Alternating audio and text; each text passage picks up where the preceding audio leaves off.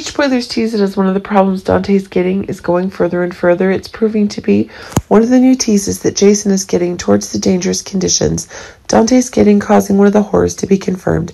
Actually, one of the factors Jason is having in his attempts towards the main story of saving Dante is increasingly making one of the conditions of the suspicions Sonny is having actually one of the stories where Jason is taking on a danger to ensure Dante's safety. But it seems that when the very evidence of Dante's own safety is having when he will wake up and that's causing the investigations, Dante is having to be increasingly proven.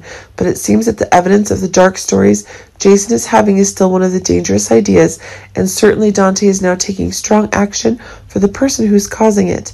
The dangers for him are being proven, but it seems that as one of the new changes that are being made is increasingly giving rise to one of the new booms where Dante himself is receiving the support of those concerned is really being opened up wide. Steve Burton recently shared on Instagram that Jason's fate is increasingly related to the plot that Dante's having, but it seems that one of the new terrible stories that Dante himself is getting is increasingly proven as Dante's being able to clearly thank Jason when it was Jason who saved him.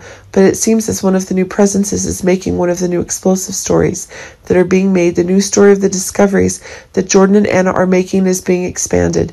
New facts are being obtained through the investigations Jordan and Anna are making. General Hospital spoilers claim that Dante wore a police uniform to chase his wedding because he's also a police officer. But if it's Dante's return that's making his determination for revenge increasingly evident, this is causing one of the new horrors to be acquired. Remember that Jason is creating a condition in the truth about the Stone Cold Alliance, and this is causing one of the new horrors to be confirmed. Him wearing a police uniform doesn't necessarily mean something bad will happen to him, but if it's true the PCPD is leaderless now, Mac has been gone for so long that it's possible that the police chief position is being passed on to Dante. But it seems that as one of the new changes is making it true, the powers that Dante has are causing the powerful actions to take place.